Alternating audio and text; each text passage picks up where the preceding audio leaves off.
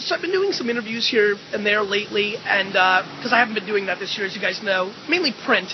And I've been asked, how do you authentically uh, deliver a message? And something hit me in the interview that I just did that I felt like I should uh, talk about in video form, of course.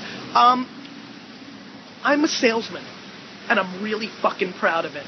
And what I've come to realize is the reason 99% of the things that I see out there are struggling with authenticity is that people are scared to accept being a salesman. And I don't know, I've always thought of myself growing up as a salesman and as an entrepreneur.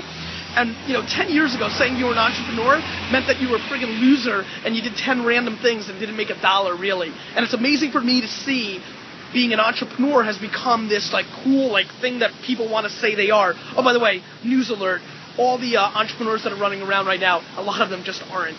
Uh, just the way it is. Anyway, uh, on that note, I think it's time for people to understand that it's okay to be a salesperson if you sell stuff. It's just the world.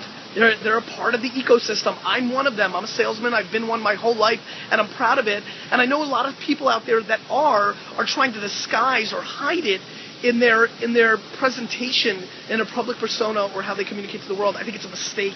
The only way to be authentic is to be fucking authentic.